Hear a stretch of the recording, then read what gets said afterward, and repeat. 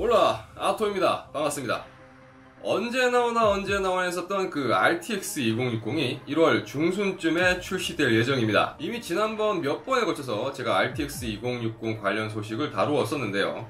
얼마 전 하드웨어 럭스의 안드레스 시칠링의 트위터를 통해서 RTX 2060에 관한 정보가 노출되었습니다. GTX일 것이라는 예상과는 다르게 RTX라는 네이밍을 달고 나왔는데요 예상을 뒤엎고 RT코어를 탑재하고 나오게 되는 것 같습니다. 다만 좀 걱정스러운 부분이라면 2060에 달려있는 이 RT코어가 얼마나 사용자들한테 의미가 있느냐라는 부분인데 최근 업데이트를 통해서 배틀필드 5가 이 ray tracing 효율이 상당히 올라간 것은 보았습니다만 그럼에도 불구하고 RTX 2080 Ti에서 이 라인업이 내려가면 내려갈수록 이 ray tracing 옵션 타협이 필요하고 또한 그로 인해서 frame rate 하락이 존재하는 만큼 RTX 2060의 ray tracing 활용이 얼마나 잘 이루어질 수 있을지는 좀 아직 의문입니다. 물론 ray tracing 활용에 있어서 성능 최적화는 아직 진행 중인 것을 생각해 본다면 뭐 긍정적인 예상도 할 수 있는 부분은 있습니다.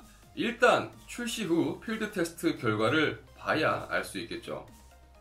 노출된 자료에 의하면 이 모바일 버전이 아닌 데스크탑 버전으로 나올 것이며 6GB의 GDDR6 메모리를 탑재했다고 합니다. 출시는 1월 둘째 주쯤 출시 예정인 것으로 보입니다.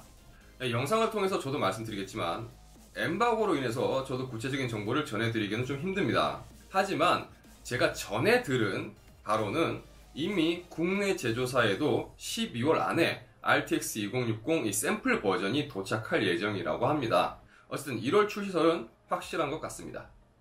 야, 이번 영상은 여기까지입니다. 영상 유익하시다면 좋아요와 구독 꼭 부탁드리겠습니다. 시청해주셔서 감사합니다. 지금까지 아토였습니다. 아디오스.